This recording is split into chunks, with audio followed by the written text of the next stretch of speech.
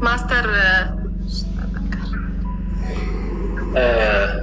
እኔ ብዙ የተለየ የሚያወራው ነገር የለኝም።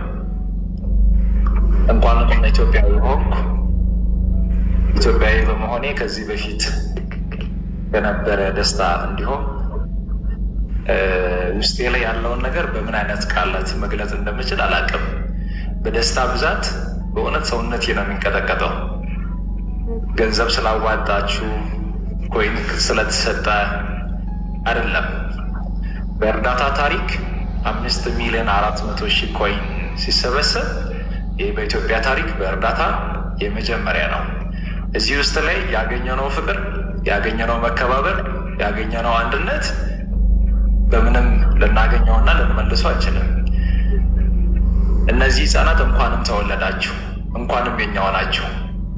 እናንተ በዚህ ምክንያት በመምጣታችሁ ፈጣሪ ከምድራችን ጋር እንዲታረቅ ከእኛ ጋር እንዲታረቅ ለእጣታችን ምሕረት እንዲደረግ ምክንያት ነው የሆናችሁትና ፈጣሪ አሁንም በጥበብና በሞገስ ያሳድጋችሁ። አንድነት ኃይል ነው የሚባለው ለዚህ ነው። ኢትዮጵያነቴን ከሌላው ጊዜ የተሻለ ፍቅር እንዲጨምርብኝና እንደወደው ያደረገኝ የማታው የላይቭ ፕሮግራም ለነዚህ ለሶስት አይነ ስውራን የተደረገላቸው ርብርብ ለሀገሬ የበለጠ ፍቅር እንዲጨምርብኝ አድርጎልኛል። አሰላሙ አሌይኩም ወራህመቱላህ ወበረካቱ። ውድና የተከበራችሁ ውድ የሷሊሃ ቤተሰቦች እንዴት ናችሁ? እንደምን ቆያችሁ? አልሐምዱሊላህ ከኔ ጋር ሁል ሰላም ነው። እንግዲህ ማታ እጅግ በጣም ደስ የሚል ፕሮግራም ነበረ። ለነዚህ ለምትመለከቷቸው ሶስት አይነ ስውራን በአንድ ቤት በአንዲት ጀግና እናት እያሳደገቻቸው ያው ሶስቱም አይነ ስውራን ብዙ ገንዘብ የአሜሪካ ዶላር እንደተጠየቁ ሁላችንም እናውቃለን። ያው ኢትዮጵያዊ ደግሞ ቲክቶከሮች እኛም የበኩላችንን ማድረግ አለብን ብለው የ live ፕሮግራም አዘጋጅተው በዚህ መልኩ ሲረባረቡ ነበር እና ያው ይሄንንም ተረባርበው እስከ ስድስት ሚሊዮን coin ለማሰባሰብ ተችሏል። በጣም ደስ የሚል ርብርብ ነበረ። እጅግ በጣም የሚያስደስት ቆይታ ነበረ። እናታችን ደግሞ እጅግ በጣም ጀግና፣ አንዳንዴ ላያስችል አይሰጥም ይባላል አደለ? አንዳንዴ ግን አንዳንዶቻቸው የቻሉትን አይደለም መቻል መስማት ሁላ ይከብዳል። ይቺ እናት የቻለችው እንዲህ አይነት ፈተና ነው። ትምህርቷን በሁለተኛ ዲግሪ ማስተርስ ያገኘች ስኬታማ ሴት ነበረች። በልጅም ልትባረክ መሆኗን መቃረቧ ለሷ ለባለቤቷና ለቤተሰብ ቤተሰቦቿ ትልቅ ደስታ ነበር። ነገር ግን በረከቱ እንደጠበቁት ደስታ ብቻ ሳይሆን ትልቅ ፈተናም አብሮ ይዞ ነበር የመጣው።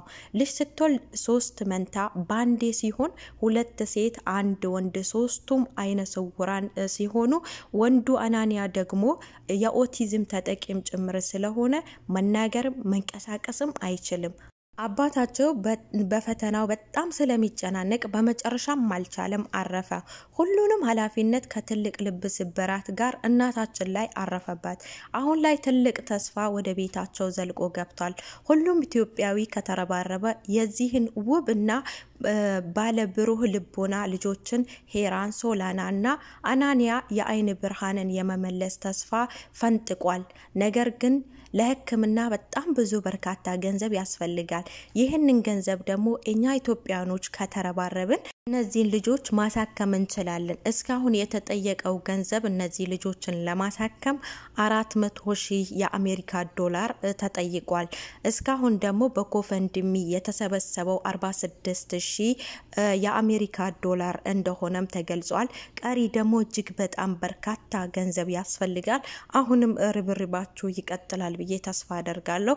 እቺ እናታችን እውነት ያልተወራላት ያልተዘመረላት እጅግ በጣም ጀግና የሆነች እናት ናት። ለነሱ ብላ ተሰብራ እነዚህ ልጆችን እያሳደገች ያለች ጀግና እንቁ እናት ናት እና እውነት ለዚች እናት ቃላት የለኝም። እናት ሁሉም እናት አይደለም። አንዳንዶቻቸው ለዚህ ልክ ለልጆቻቸው በዚህ ልክ መስዋዕትነት የሚከፍሉ እናት አሉ። እቺ እናት ሁለቱ ልጆች እንኳን ይሻላሉ። በራሳቸው አቅም መራመድ መብላት ይችላሉ። በጣም ደግሞ smart የሆኑ እንቁ የሆኑ ልጆች ናቸው። ግን አንደኛው ደግሞ ወንዱ ልጅ አናንያ እጅግ በጣም ከባድ ፈተና ነው የጣለባት። እሱን ጥላ የትም መሄድ አትችልም። እሱን ያው ብዙ ጊዜ ሚዲያ ላይ አታዩትም፣ አንዳንዴ ነው። ያንንም ደግሞ ያው ብዙዎቹ ሲጠይቋት ነበረ። ለምንድን ነው እነዚህ ሁለቱ ሴቶች ብቻ የሚወጡት ወንዱስ ብሎ ብዙ ሰው ይጠይቃል። ማለት ከጀርባ ያለውን ችግር ስለማያውቅ ማለት ነው። በባለፈው አውጥታ ነበረ።